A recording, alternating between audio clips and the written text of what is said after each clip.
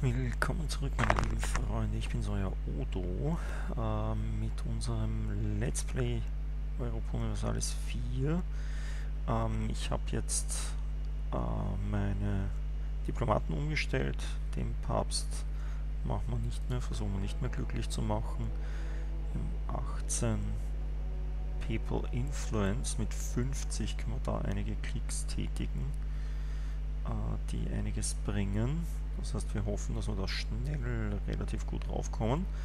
Äh, wir haben jetzt ein relativ gutes Verhältnis mit dem Papst. Wir werden trotzdem mit ihm Krieg führen, dann irgendwann mal in nächster Zeit. Naja, schauen wir mal. Zwei Kardinäle haben wir schon. Wir sind hier bei 42 Prozent. In Wirklichkeit... Hm, in Wirklichkeit wäre das schön, wenn das endlich gefallen wäre. Vor allem, ich sehe gerade, da sind so viele Truppen daneben, nicht, dass uns die angreifen. Ich weiß eh nicht genau, warum uns die nicht angreifen. Die sind alle viel stärker, durch das, dass es nur die Vasallen vom Burgund sind. Dürften die offensichtlich irgendwelche Probleme haben mit... Komm schon, 42%, du schaffst das.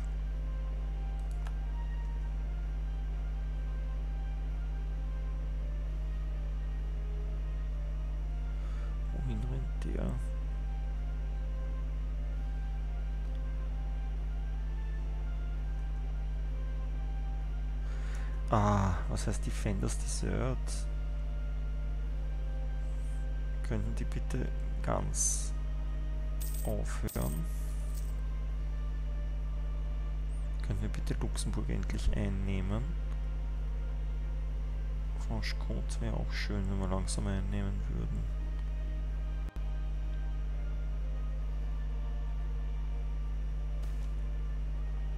Äh. Oh. Burgundische Nachfolgekrise. The death of the last Duke of Burgundy, Burgundy has made the future of the country very uncertain. Neighboring countries and those connected by royal marriages are already circling the opportunity. Ich meine, das weiß ich natürlich, dass das passiert, aber ähm,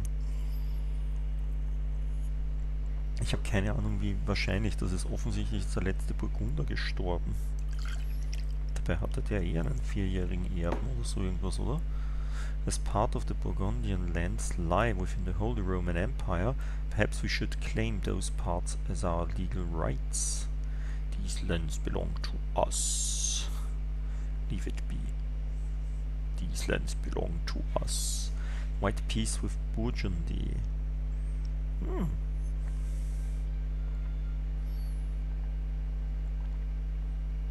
Oh, das würde unseren Krieg beenden.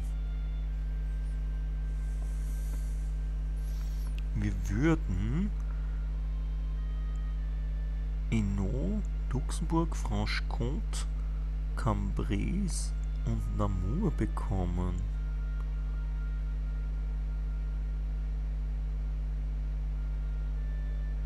Das ist ja lustig. Na, natürlich machen wir das.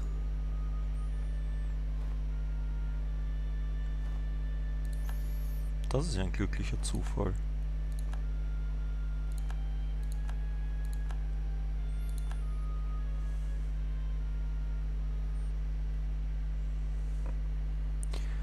Schau dir was an. Jetzt haben wir gleich plus 0,26. Deswegen finde ich gut.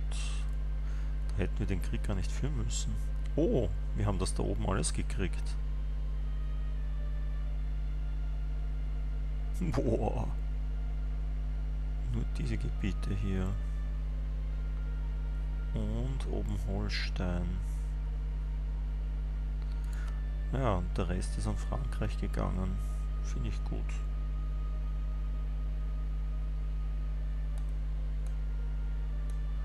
Frankreich hat den Rest geerbt.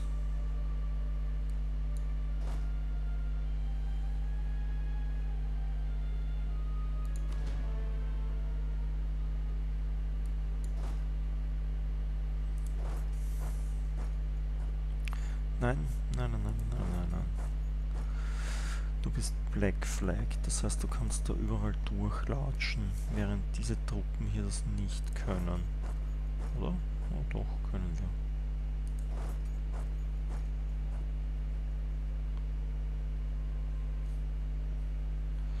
Gut, dann gehst du mal darauf. Luxemburg.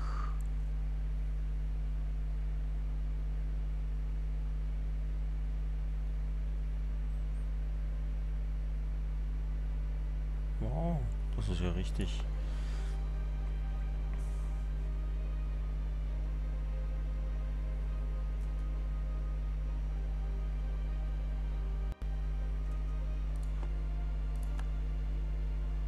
Okay. Wir können schon nicht mehr durchgehen. Okay, wir können Staaten bauen. Und zwar... Oh, Wallonien finde ich gut. Das wird mal ein Staat. Das ist ein Der ist sehr stark. Der gehört uns.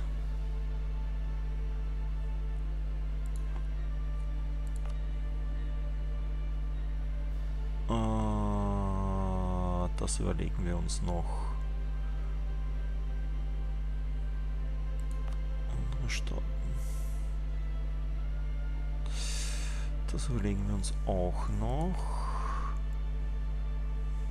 Das wollen wir aber schon haben, oder? Das ist alles unseres.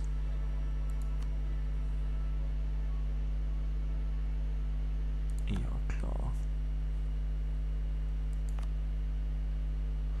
Und Holland ebenfalls.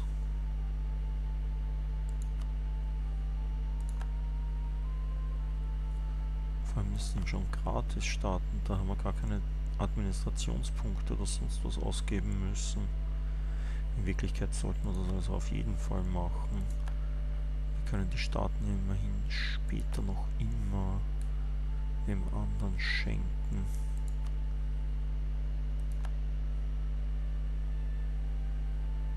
Oder? Schon.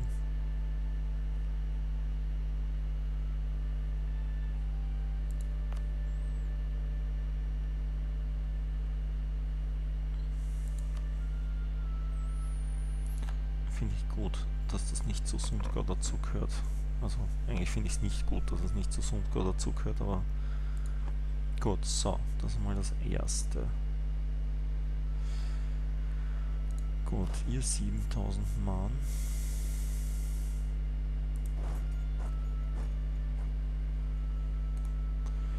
Euch latsch mal nach Wien zurück.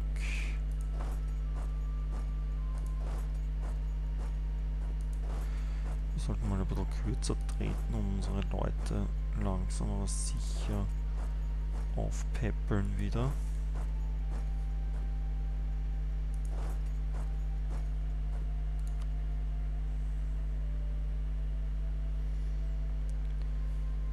Langsam aber sicher wieder aufpeppeln, genau. Die Picardie.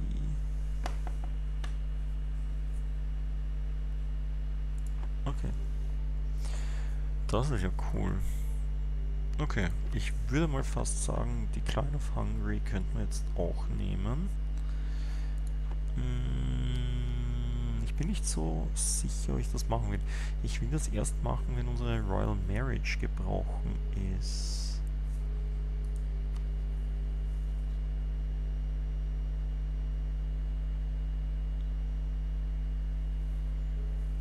Dazu müssen wir erst sterben, glaube ich.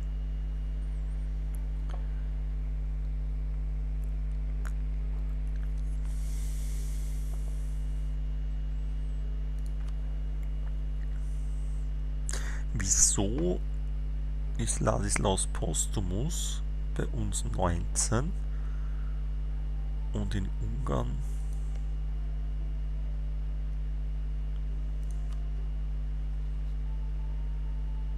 Achso, ist er auch 19. Ich bin so dumm.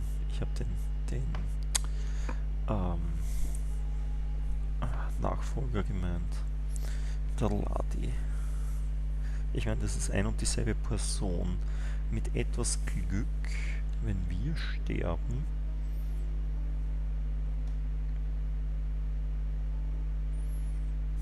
kriegen wir dieses Land einfach so. Das kann schon passieren. Wie alt, wie alt sind wir eigentlich? Wir sind 43, eh noch nicht so alt.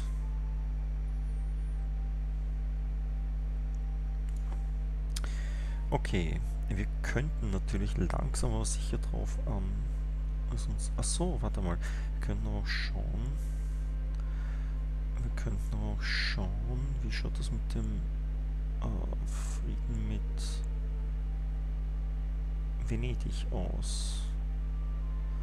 1464 und der Papst 1469. Wie lange habe ich eigentlich Zeit dafür, das Ding da zu machen? Bis 1490. Okay, gut. Das heißt, wir haben Zeit genug. Zeit genug. Weil das nächste Mal, wenn wir den Papst besiegen, werden wir ihn als Vasallen einfach nehmen und aus. Wir werden die Gebiete, die Urbino für sich beansprucht, wenn wir für uns beanspruchen, äh, wenn wir für Urbino beanspruchen. Und genau. So, Rivalen. Wir haben nur zwei Rivalen. Venedig rivalisiert uns, die Mameluken, Frankreich und die Osmanen. Vielleicht sollten wir jetzt auch die Osmanen langsam rivalisieren. Hm. Oder Dänemark, wenn es geht. Dänemark wäre eigentlich besser. Ungarn. Was passiert, wenn wir Ungarn, wenn wir Ungarn als Rivalen nehmen? Bricht dann irgendwas? Brechen wir dann irgendwelche, irgendwelche Bande? Hm.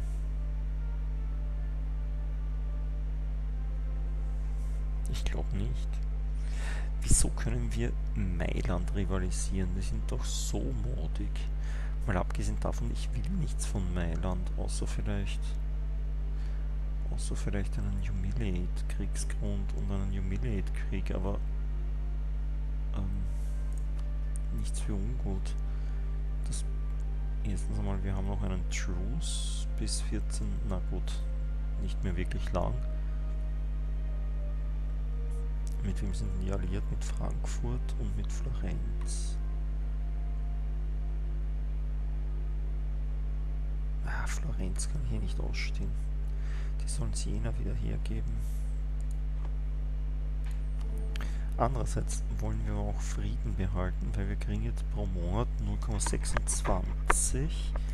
Das bedeutet, wir brauchen nur noch ein paar Monate, dann sind wir da auf 50 und dann können wir die erste Reform durchsetzen.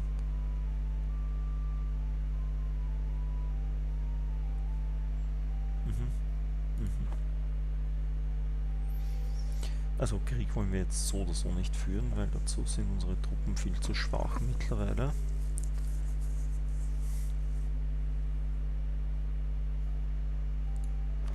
Aber ihr... Warte mal. Wie sind es mit unseren mit unseren Schiffen? 18 von 18 Schiffe. Okay. Keine Schiffe mehr. Da wäre mal. Und gegen Ungarn wollen wir jetzt auch keinen Krieg führen. Wir wollen einmal, wir wollen uns einmal unsere Wunden heilen. Und wir wollen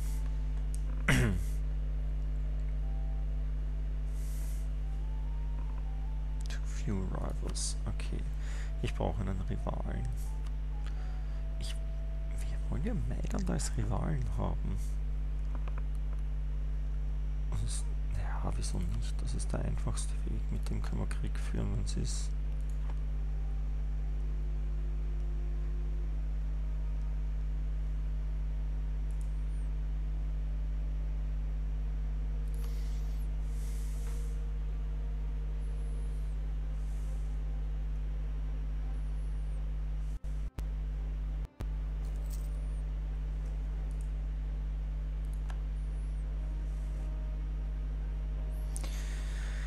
So, dann werden wir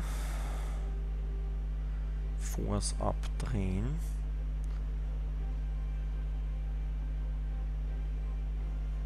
uns Geld zu sparen. Wir machen minus 6,6 Geld derzeit. Ah, naja gut, das liegt aber hauptsächlich daran, dass wir unsere Einheiten zurückbauen. Langsam.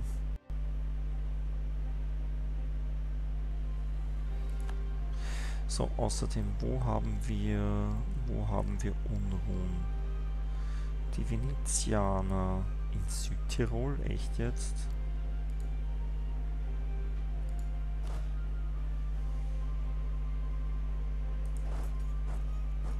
Nö, nö, nö, nö, nö. So, gehst du mir... So gehst mal nach Südtirol, um dort die Rebellion ein wenig zu unterdrücken mit deinen 7000 Markseln. Finden wir nicht gut, dass das dort, dass das dort ist.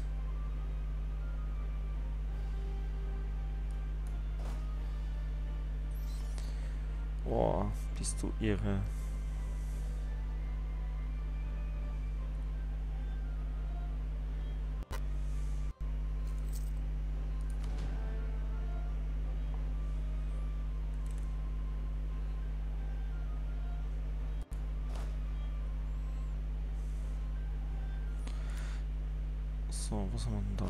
Typen? Da haben wir gar keinen Anführer.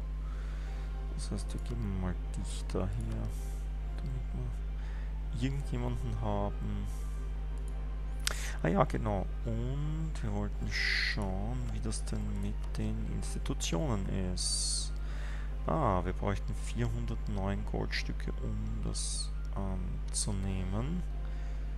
Wie viele Kredite wären denn das? 210 einer nur.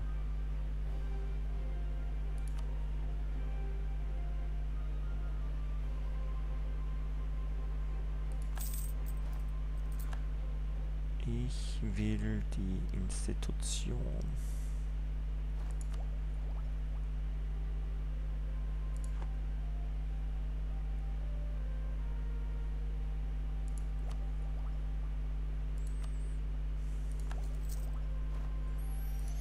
So deswegen, wenn wir dann billiger forschen können. Zum Beispiel Militärtechnologie, die wir weit hinten nach sind.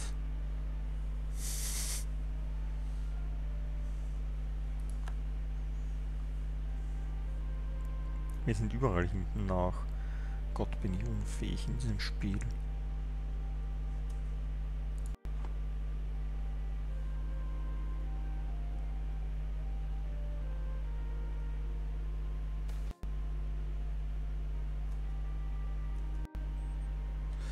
Gems are truly outrageous. Okay. In Antorf bekommen wir bessere Gem Production. Wo ist Antorf? Das ist sicher eines von diesen Käfern hier. Seeland. Amsterdam. Antorf da. Uh. Uh, fancy. 84% Autonomie. Das wäre doch ein Platz für... Warte, warte, warte, warte, warte, warte, warte, warte, warte, warte, warte, warte, warte. Okay, die könnten wir, diesen Leuten könnten wir Land geben.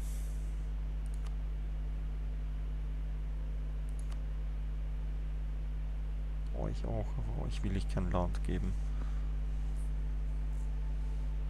Obwohl Raise Additional Levies wäre schon nicht schlecht. In gewisser Weise. Wenn ich euch Land gebe,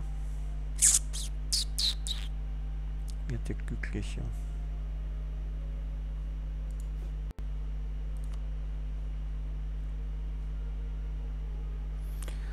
Wenn ich euch Land gibt, dann muss es irgendwas sein, was vollkommen weiß, doof ist, was kein Mensch braucht.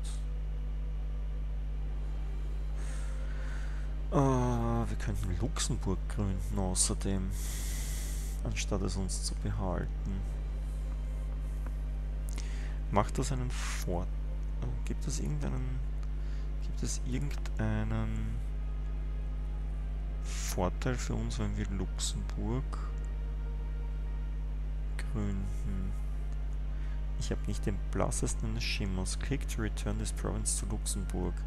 You will lose 10 prestige, but the opinion of you will increase.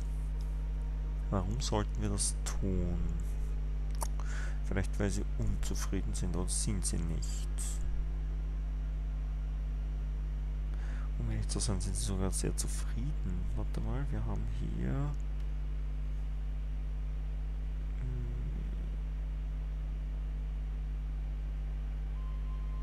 minus 5,59. Die zwei heben sich auf. Okay, wenn wir die Autonomie senken würden, würden wir Unrest haben. Das wäre nicht gut.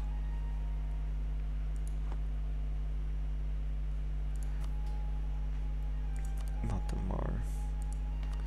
Wir könnten Flämisch und Dutch und Wallonisch als, als to the same culture group as Austrian. So it gives us reduced penalties.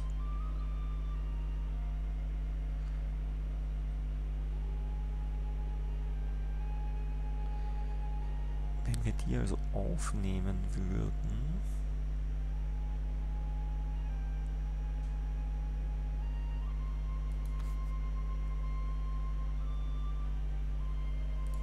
nicht wallonisch. Wie schon gesagt, Luxemburg und diese anderen wallonischen Provinzen will ich vielleicht noch loswerden. So was wie das hier. Wallonisch, Wallonisch,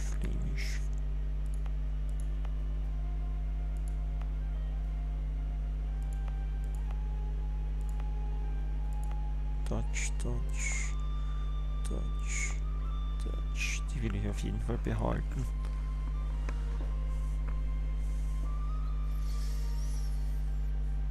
Aber vielleicht sollte ich mir eher aufheben nachher für Böhmen und Ungarn. Immerhin sind das auch Kulturen, die dann sehr, sehr groß vorhanden sein werden. Und Dutch und Flämisch sind sowieso in der deutschen Gruppe. Also vielleicht lassen wir das, vielleicht nehmen wir tatsächlich nur Wallonisch. Hm. Wie ist denn das hier?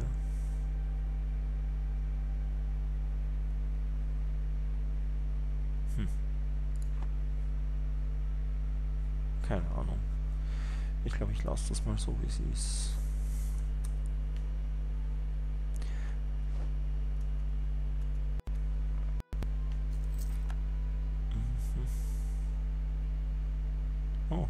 Nicht mehr rivalisieren und Mailand auch nicht.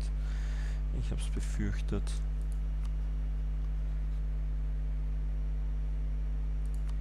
Okay, wer bleibt uns dann noch? Frankreich, Osmanen, Ungarn. Wir werden auf jeden Fall Ungarn jetzt mal machen. My Archduke Hungary broke the alliance with us. Ah.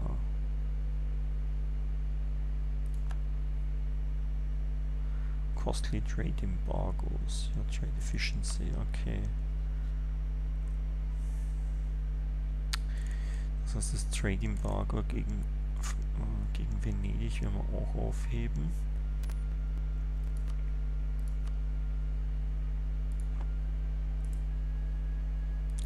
Dafür setzen wir eines gegen Ungarn.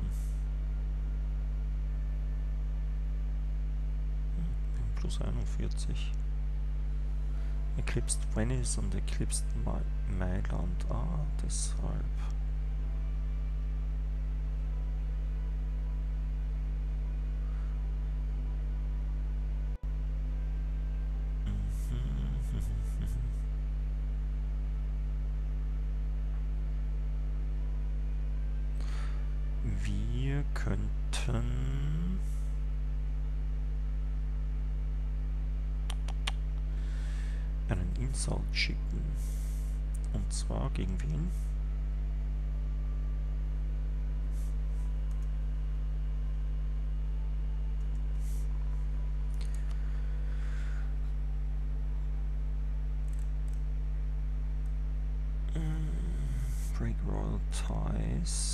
Was würde das machen?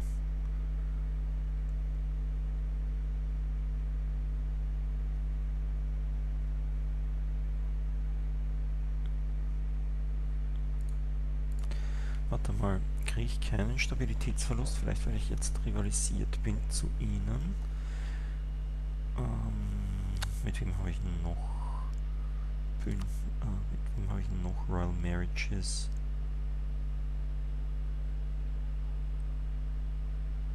Nur mit Ungarn. Das sind wenig Leute. Hm. okay, ähm, dann machen wir mal da ein Embargo. Sicherheitshalber. Oh. Oh, verstehe. Kein Embargo. Können wir sie ähm, wenigstens insulten? Ja, wir können einen Insult schicken.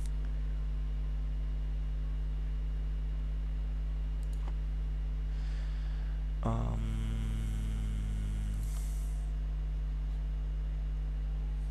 wir sollten versuchen, Polen auf unsere Seite zu kriegen. Würdet ihr eine Allianz mit uns eingehen? Würden sie machen sie. Finde ich gut. Finde ich gut.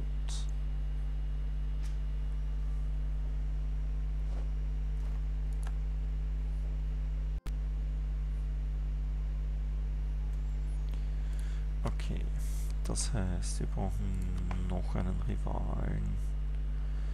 Naja, bleiben sowieso nur noch die widerlichen Gegner. Osmanen, Frankreich, England ist sinnlos, weil gegen England werden wir eh nie Krieg führen. Rein theoretisch könnte man natürlich Frankreich nehmen, aber ich will eigentlich jetzt noch gar nicht gegen Frankreich kämpfen.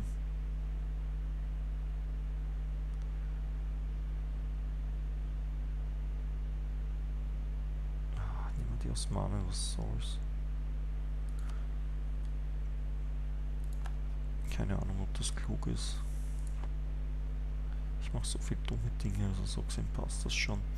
So, dann haben wir wieder einmal zu viel Allianz. Das heißt, wir werden dieses Mal die Allianz mit Mainz brechen. Tut mir leid, Mainz. Ich habe dich grundsätzlich gern, aber... Und du... Wirst dort Improve Relations machen. 49,63. Ich würde sagen, machen wir jetzt noch so weiter, bis wir die Reform durchmachen können.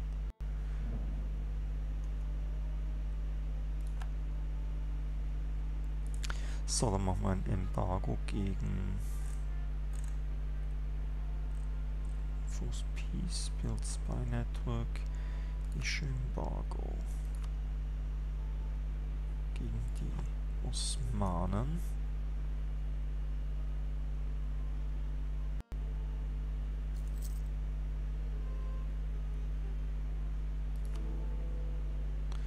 Fast nächstes Monat. So, was machen wir jetzt?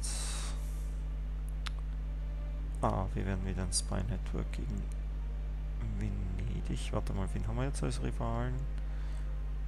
Ungarn, aber das ist mir wurscht. Gegen die brauchen wir das nicht. Ein Spy Network gegen die, weil gegen Ungarn machen wir sowieso ein, ein Personal Union. So, ausgezeichnet. Die zwei mögen uns auch viel mehr jetzt. So. Ihr könntet... Könntet ihr mir noch was geben?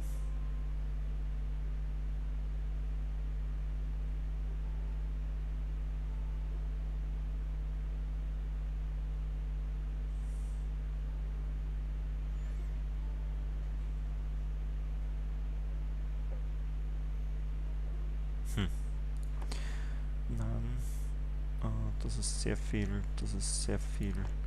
Da gibt es sehr viele Sachen, die man machen könnte, rein theoretisch, wenn man alle DLCs hätte. Wie schon gesagt, ich habe Let's Plays dazu gesehen.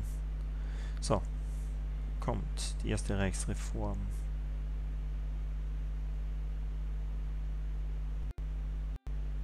Erste Reichsreform. So, was macht die erste Reichsreform überhaupt? Äh, alle Gebäude werden billiger. Schau was an. Das finde ich gut. Das sollten eigentlich alle ganz gerne haben.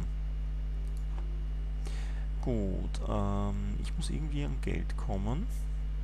Äh, das ist natürlich problematisch, weil äh, das meiste Geld wird derzeit von meinen sich langsam aber sicher wieder aufbauenden Truppen gefressen. Puh.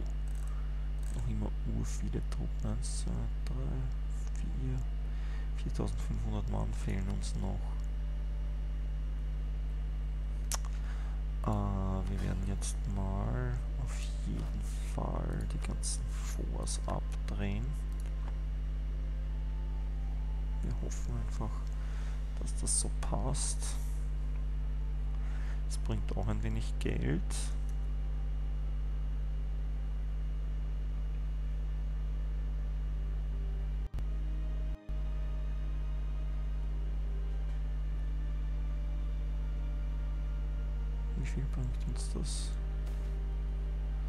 Encroachment of the nobility.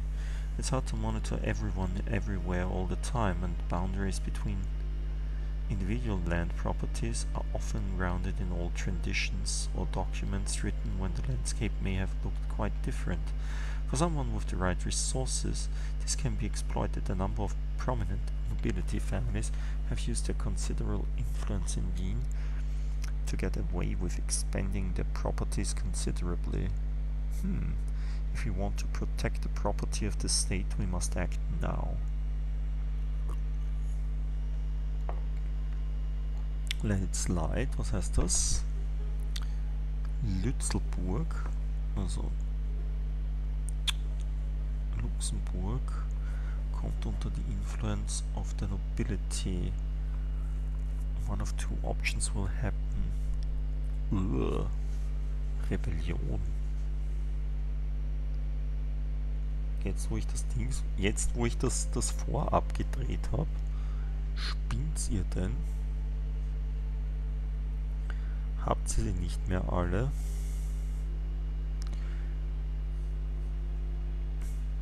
mal das Ding an.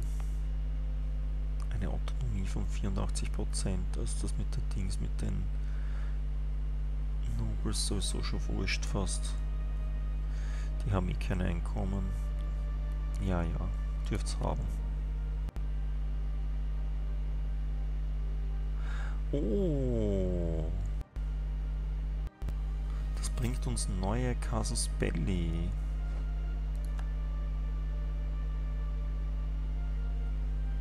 Okay, Herrschaften, an dieser Stelle mache ich Schluss für heute. Ich wünsche euch einen schönen Abend, schlaft gut, träumt was Schönes und wir sehen uns hoffentlich bald wieder, ähm, wenn wir wieder Europa Universalis spielen. Bis dann.